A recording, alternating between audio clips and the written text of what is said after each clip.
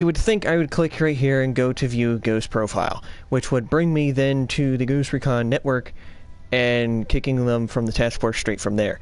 That is not what I'm going to do here. So what I'm going to do is actually show you how to do it because I've actually went there and found out I actually can't kick them from there.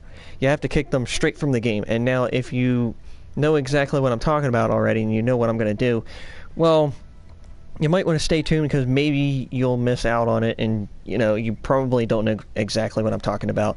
But just in case. So you just click on over there's task force and you know right here is just the person's profile. You click triangle to view info and then you can basically remove from your task force right then and there.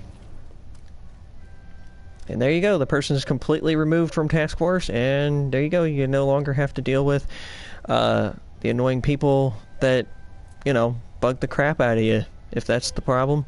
Or maybe you just don't like, uh, the person doesn't do anything, maybe they don't play anymore.